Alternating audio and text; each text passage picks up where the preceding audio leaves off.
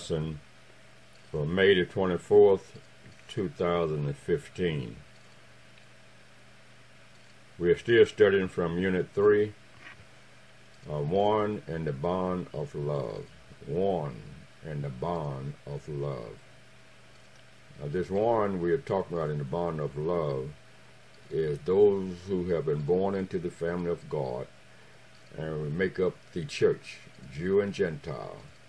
We are one and we are bond. The word bond means cemented, uh, glue, stuck together, and uh, of love.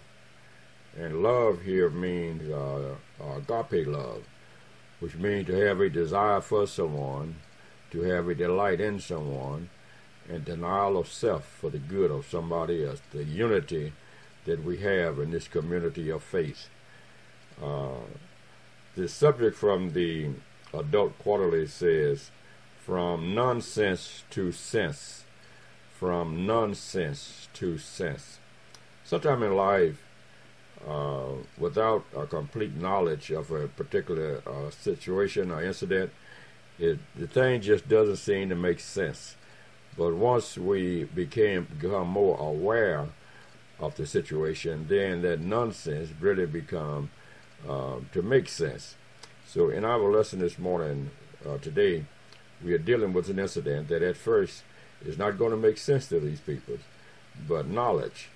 Okay, have you ever bought a um, an item that you had to assemble assemble it, and you look at it, you think you know how to put it together, and after you start working on it uh, without reading the instruction, and you say, wow, this just doesn't make sense. Then you go look at the instruction, and you have to undo what you have done and follow the instruction for it to make sense. Well, that's the way it is with studying the Word of God. Uh, we have to study it, allow the Spirit of God to teach us, because uh, man just cannot understand God's Word without the teaching of the Holy Spirit. Remember, the Lord Jesus Christ said himself that he was going to go away and he was going to send us another comforter. He was going to be in us. He was going to be beside us. He was going to teach us and bring things back to our remembrance what he had taught. So therefore, it is the Spirit of God that teaches and makes sense in God's Word because the natural man just cannot understand it. Okay, it was spiritually, uh, man was inspired by the Spirit of God to write, and it takes the Spirit of God to make sense. Okay, now, an unsaved person can understand the historical facts, but they cannot understand the spiritual things of God's Word. So, um, uh, as we look at this lesson, and the uh, devotional uh, reading is from the book of uh, Deuteronomy, the fourth chapter, verses uh, 32 through 40. We encourage you to read those verses and also, along with that, read the 19th chapter of Leviticus, because here in the book of Deuteronomy, the apostle uh, John, uh, Moses was reiterating to this younger generation that they had came out of the 40 years of wandering in the wilderness on the east banks of the Jordan River, and he is uh, uh, reciting to them, okay, the laws of God that to those that were born in the 40 years in the in the wilderness and uh, here uh, it's talking about how the Lord uh, uh spoke to man, uh, to Jews uh, in the 19th chapter of Leviticus. Fire, smoke, light, mountain shaking, and this is the way God was speaking. And we're going to find this going to tie in with our lesson for today, okay, on the, in the book of Acts how uh, uh, the Spirit of God spoke to uh, these people, and they were able to speak languages that others could understand, and they had not studied those languages themselves. So anyway, read that, and uh, the print from our lesson is taken from the book of Acts, the second chapter, uh, verse 1 through 7, then the 12th verse, and uh, 1 Corinthians, the 14th chapter, verses 13 through 19. And let's look at the aim for studying this lesson it's to discover how the Holy Spirit help people communicate and both uh, different uh, native and spiritual language, how the Holy Spirit help people to communicate. Now, keep in mind that uh, the Word of God, uh, the Bible, is uh, God communicating with man. And uh, therefore, when you study the Word of God, and whenever you communicate with someone, you learn things about that individual. They learn things about you. But here, okay, we learned about God, okay, and uh, and therefore uh, we learn really a lot about ourselves. So uh, the Word of God is very essential, and because uh, the uh, uh, it is a way of communication. Okay, now look at number two. Emphasize with person and situation in which language inhibit communication. Empathize with person and situation in which language uh, inhibit communication. So therefore, um, uh, they are in this in this uh, uh community of faith we're talking about. Okay, there's uh, people speak many different languages. Okay, uh, we're talking about those who have been born again throughout this universe, and there are many different languages. And the Bible, those people, all of us have the Bible written in our language. Okay, it'd be wonderful sometimes to be able to, to, to speak more than one language, but uh, many times we have to uh, help people to uh, receive the Word of God in their language. Okay, uh, third world countries, and that they need financial help, and uh, the Bible needs to be printed in their language and so forth. There's a lot of things we can do to help. to communicate. Then number three, find ways to communicate with diverse uh, people and have common understanding. More, you know, we talk about uh, uh, uh, helping to get the Bible, okay, uh, uh, written in their languages.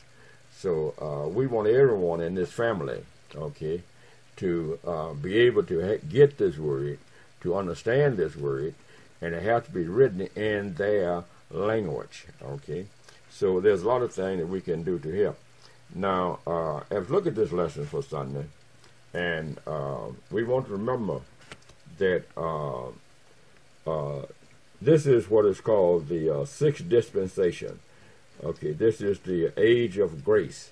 Law can, is, uh, is coming to an end here, and so we're dealing now with the church age. It is a period of time between the termination of Christ's earthly ministry and his return, during which God, who is no longer dealing with Israel nationally as he did in the Old Testament time, uh, a purpose to call uh, out from among nations a peoples of his uh, name. Uh, this dispensation, which it was uh, initiated with the advent of the uh, Holy Spirit on the day of Pentecost, to dwell within the heart of believers in Christ. And it will continue until the church is taken out for, at the rapture, okay, in the fourth, fourth chapter of uh, First Thessalonians. Now, uh, keep in mind that as we study this lesson, and uh, we're dealing with this word Pentecost. Now, uh, Pentecost is a word that is not found in the Old Testament. Uh, you find in the in the uh, book of Leviticus, the, the 23rd chapter, and we encourage you to read that because you can find there the Feast of Weeks, okay? And uh, the Feast of Weeks was to be celebrated uh, uh, uh 50 days after the Jews celebrated uh, first fruit. Now, first fruit was a type of his resurrection, okay? And then they had to count seven Sabbaths which would be uh, 49 days. And the next day after the 49 days, which would be 50 days, and notice it, it was on a Sunday. Okay? And uh, so in the New Testament, you see the word Pentecost, and uh, uh Pentecost in the Greek means 50. So 50 days after the Lord, okay, resurrection, which had been 40, he had uh, spent 40 days here on earth, in the first chapter of Acts, giving them infallible proof okay, that he was alive, that he was real. And uh, then he went back to heaven, but he told them to tarry in a, there in a room until they be uh, baptized, not many days hence by the Holy Spirit. So uh, ten days after, okay, he went back to heaven. Okay, in the second chapter of Acts, it was uh, the day of Pentecost, and that is when the Spirit of God baptized them into the body of Christ, okay, to form the church. And uh, so, therefore, keep in mind that when we say baptized, means put in. Now, Holy Spirit baptism uh, puts you into. You don't join the body of Christ. Okay, the Spirit of God puts you into it.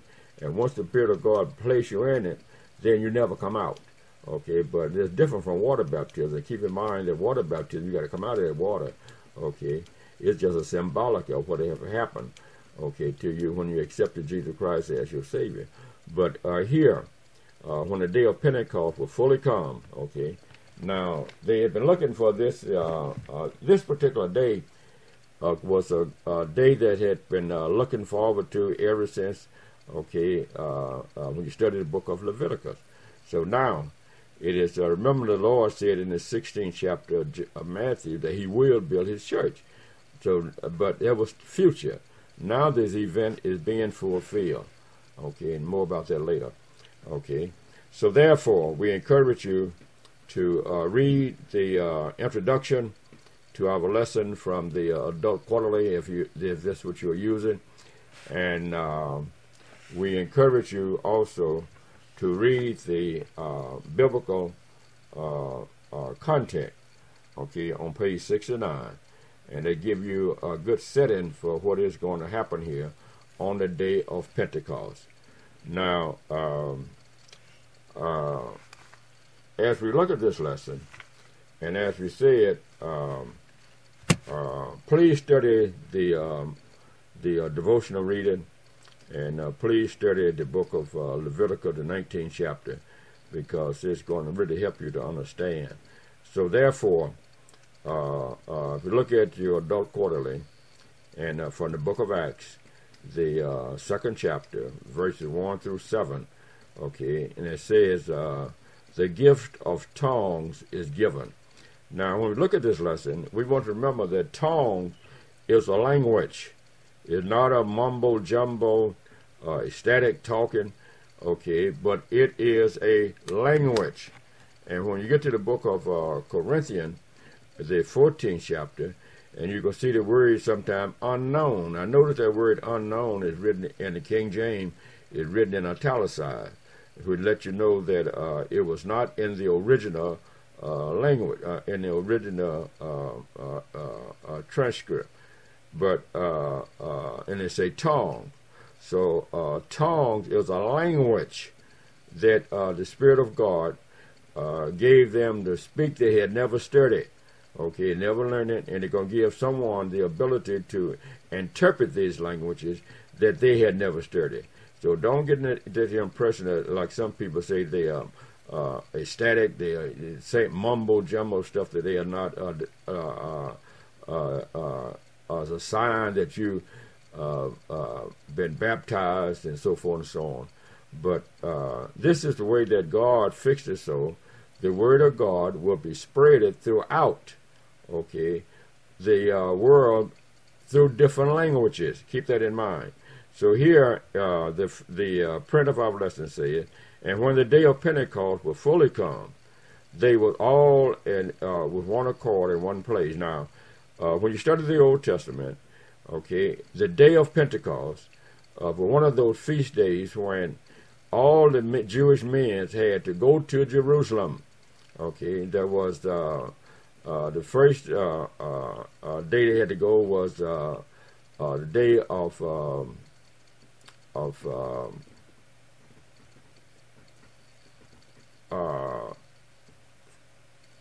they had to celebrate uh, his uh, his his death and the feast of of unleavened bread. Okay, and then they had to stay there for uh, uh, 50 days to celebrate the feast of Pentecost. And then there was the third day they had to go, that was in the seventh month, okay, the feast of uh, tabernacle. But here, they would go to Jerusalem and be there for the 15th day of, of uh, Nisan, and uh, then they had to stay there until uh, the uh, uh, 50th day of Pentecost, 50 days later. So now, when the day of Pentecost, there was uh, the Jews, men it came from uh, throughout the Roman Empire, whatever the Jews had uh, had been scattered, dispersed. Okay, the men would go, and uh, so while they were there, okay, it says, uh, and suddenly there came a sound from heaven as of a rushing mighty wind, and it filled the house where they were sitting. This is why we need to go back and read uh, the 19th chapter of Leviticus and the fourth chapter of Deuteronomy in our uh, devotional reading because the same way God appeared miraculous, okay, to them uh, at, at uh, Mount Sinai, okay, and uh, here they were there, and uh, then they say the uh, uh, uh, and suddenly there came a sound from heaven as of a rushing mighty wind, and it filled the house where they were sitting, and there appeared unto them cloven like tongues of fire, and it set up on each one of them. Get the picture here, that here there was uh, 12 apostles and uh, uh, 120 uh, other people in the room. And uh, when they came down, okay, um, uh, they were able to speak. And all those people that came from different countries, they could understand what they were saying in their languages. Okay, now remember those apostles, okay, didn't really speak all those different languages literally but uh, the Spirit of God, okay, enabled those people to hear them and whatever language they spoke, okay. It was just like uh, cloven like tongues of fire divided, and the Spirit gave them, uh, the Spirit gave them utterance. Look at that fourth verse. And they were filled with the Holy Ghost, which means the Spirit of God had complete control of them, and began to speak with other tongues or other languages, as the Holy Spirit gave them utterance, the ability to do so. And that fifth verse say, And there were dwelling in Jerusalem, okay, Jews, devout men out of every nation under heaven. And what happened? Now when uh, this was uh, noticed uh, uh, abroad, the multitude came together and was confounded. And you and me would be the same way, confused. Here uh, you hearing them speaking, and uh, you didn't speak the language that they spoke, and they didn't speak the language you spoke, but yet and still you was understanding, okay, what they were saying in your own language. So they was confounded, they was confused. Why? Because every man heard them speak in their own language. Okay, so remember we say these are languages now. It says, uh, and they was all amazed, and they marveled, saying, one to another, Behold, are not all of these which speak Galilean? Okay, now uh, Galilean, okay, uh, upper part of uh, Palestine there. Okay, they spoke a different language. Even uh, had a different dialect than uh, those that was in uh, Jerusalem. And here these people came from all the other countries, and now they could understand what they were saying. So then when we get to the 12th verse, say, and they was all amazed, and was in doubt, saying one to another, What meaneth this? Now go back to your subject. Okay, it didn't make sense to them. Okay, nonsense, but it had to uh, nonsense had to be made sense, and uh, so therefore, uh, it is very essential. You see, God uh, uh, have a way of uh, of teaching us so we can understand things about His Word that really don't make sense. Okay? But when you study God's Word and led by the Spirit of God, and the Spirit of God illuminates your understanding, and as we said previously, that which didn't make sense, now it began to make sense. Okay?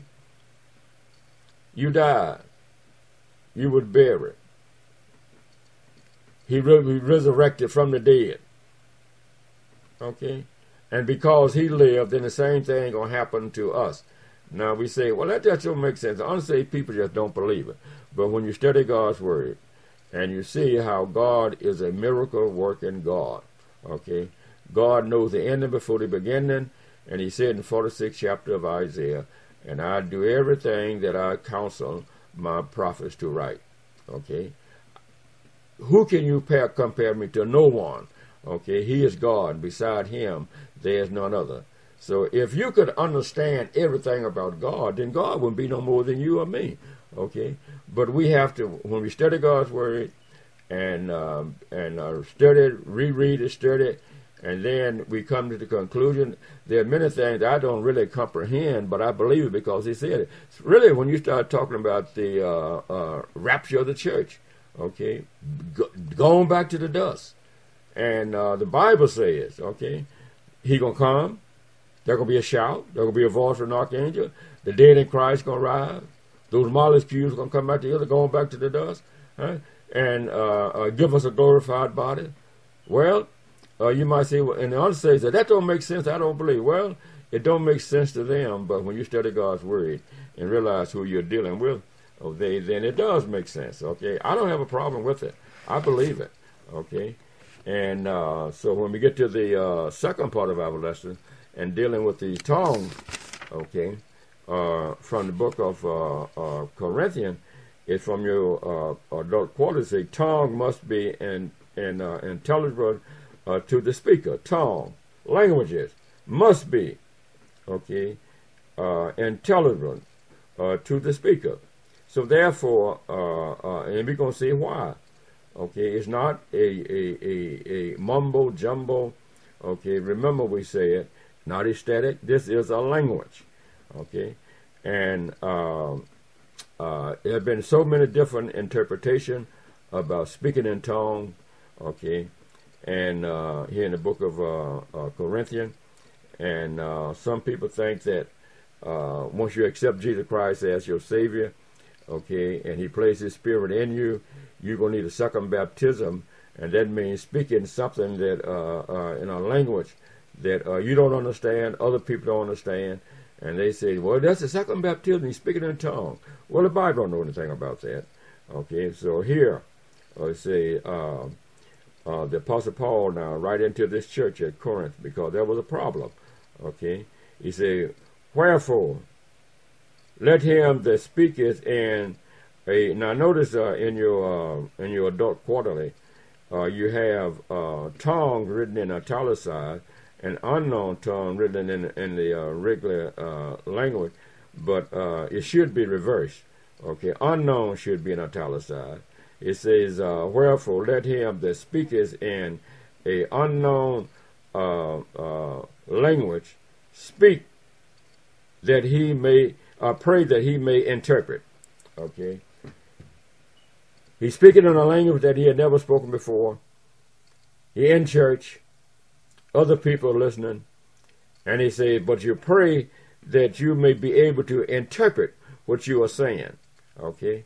And uh, because if, I, if you don't, if, if, if I don't understand what you are saying, then you, I'm not being edified. Okay, I'm not being built up. Okay, and I cannot say amen because I don't know what you're talking about. So this is what Paul is uh, getting over here to the people for. Note that 14th verse. For if I pray and an unknown tongue, my spirit prays, prayeth, but my understanding is unfruitful. Now, what is he saying? if I pray, okay, in a language that you don't understand what I'm saying, okay, now God understands, okay, uh, my spirit prayeth, but my understanding is unfruitful, okay. You are not, you see, in this, in the body of Christ, we should be building up and um, uh, uh, one another and uh, we should be encouraging one another. But if I don't know what you're saying, okay, then how can you be? We can be building up one another. Now God knows whatever language you are speaking. Okay. Now, uh, uh, uh, uh when I was uh, working, and a friend of mine is a pastor, he went taking a trip to California, and he was sat on the pastor out there for two weeks and he said this pastor taught him how to speak in tongues. And he came back and he was teaching his, teaching his church members how to speak in tongues. I said, what's the purpose? He said, so uh, uh, they need to learn a language where the God and the angels understood. I said, wait a minute now.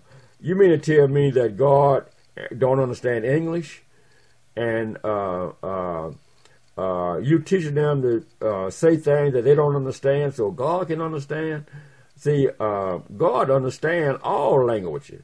Okay, so here he says, a uh, now 15th verse.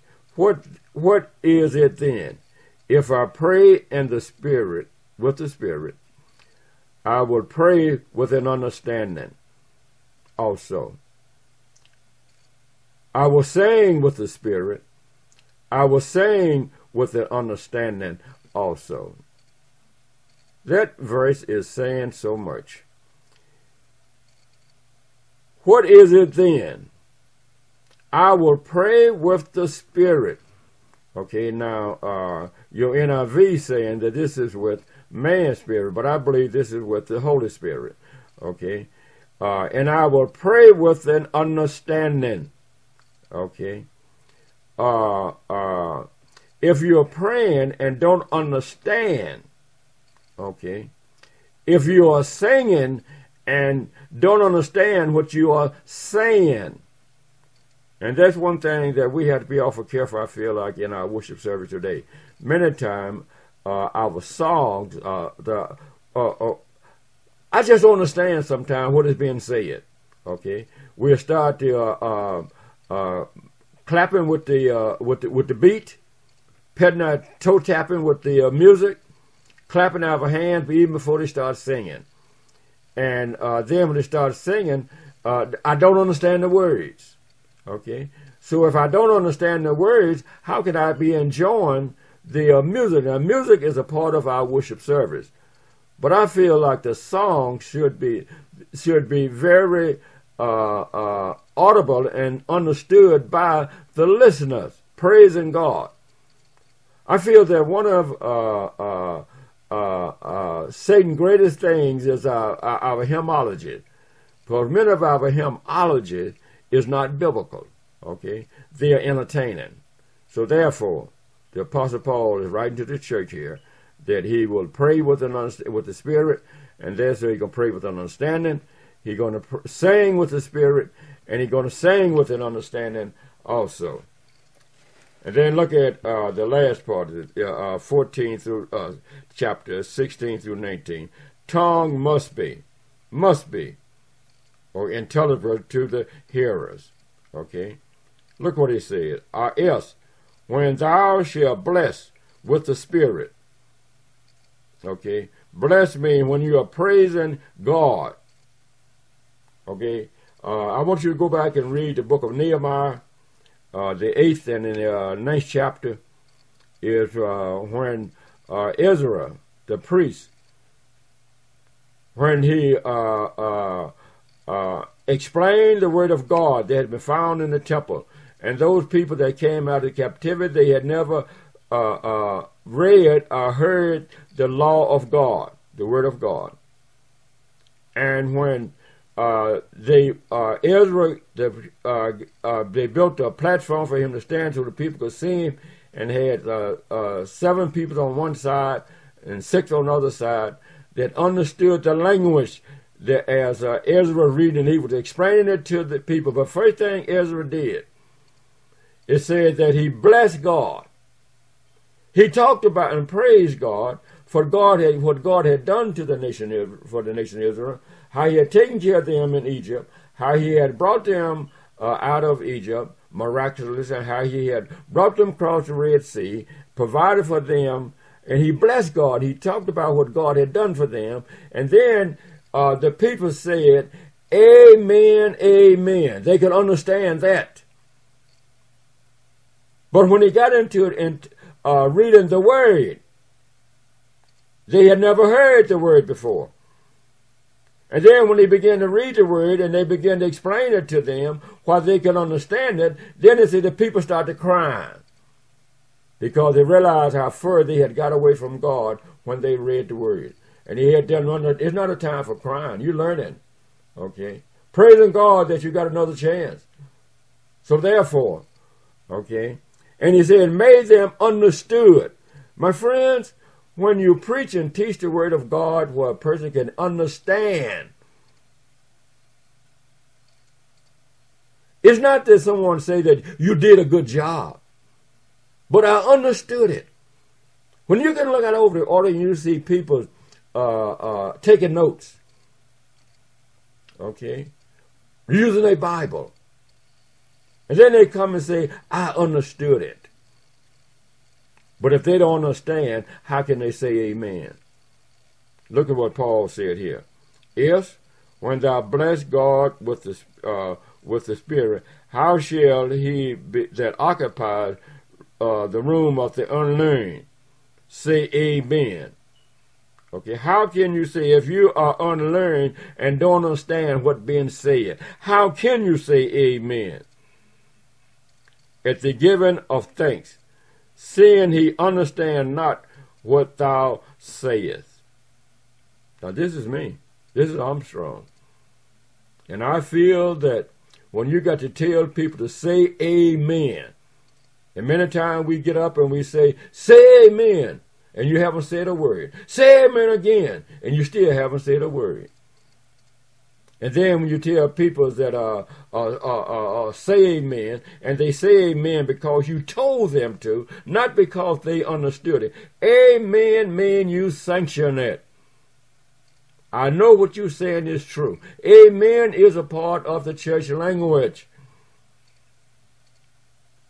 Amen. Praise God. Thank you, Jesus. Hallelujah. But when you say amen, you should be saying it because you know a person is telling the truth. If you're learning, how can you say amen? If you don't know the person is saying the truth, how can you say amen? Then note what Paul said. For thou verily givest thanks well, but uh, others are not edified. Then he said, I thank my God. I speak with a tongues a language more than you all. Now, tradition says, this is not biblical, tradition says that Paul could speak 14 different languages. But Paul says here, I thank God that I can speak uh, with more languages than any of you all. Yet in the church, I'd rather speak five words with an understanding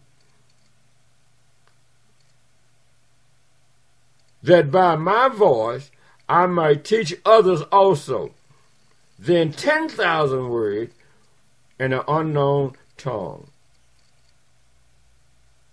Five words that the church would understand than 10,000 words that they don't understand.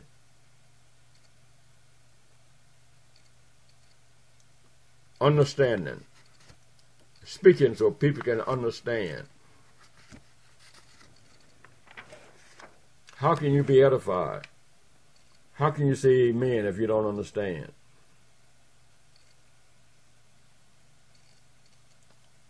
to listen in by saying the need for the ability to be intelligibly communicated. Okay, the gospel uh, to uh, growing numbers of diverse group of peoples cannot be overemphasized uh, in our uh, uh, shrinking world environment. The church must seek to aid uh, the aid of the Holy Spirit in international de- developed ways to overcome barriers of effective communication in order to win peoples of every tongue and nation to Christ. We must. Go ye therefore into all the world. Teach them. Think about all of these people that had came from various countries on the day of Pentecost. Now they had to go back home. Now they had understood. Now they can make sense out of nonsense. Now they can tell those people where they came from about the saving power of Jesus Christ. They can tell them what they had learned about his death, burial, and resurrection. Because when they, uh, uh, the Spirit of God gave the apostles the ability to speak, stand up and speak, and the Spirit of God uh, uh, gave them the ability to hear in their own languages. They understood. They went back home. They spread the gospel. Jesus Christ died for your sin. He was buried. He rose again for your justification. they understood. This is a wonderful lesson.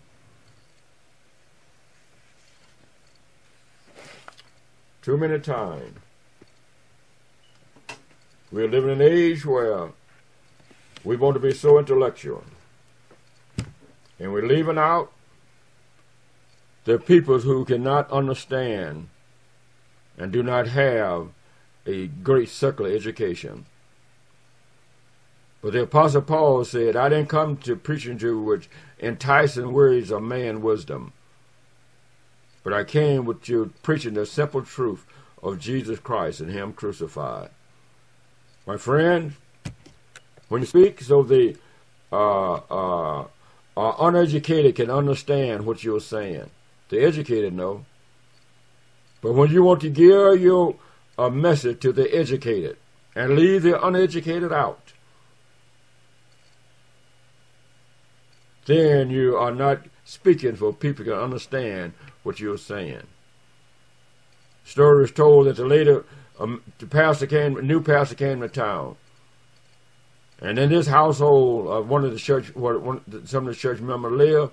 There was an elderly lady, grandmother, and she was the only one that went to church that Sunday morning. She came home. They asked her how was the preacher, the new preacher, could he preach? And she says, uh, I don't know. Maybe he did, maybe he didn't. Say, I carried the wrong book. I carried my Bible when I should have had the dictionary. I didn't understand anything he said. He used words that over my head. So maybe he did preach, but I didn't understand that. But if he had spoke to the, so she could understand, then all of those educated peoples could understand it as well. Understanding is the greatest thing about the Word of God. Teach, preach, so the average person can understand what is being said. May God bless you. May He keep you. And we hope to see you in Sunday school Sunday morning.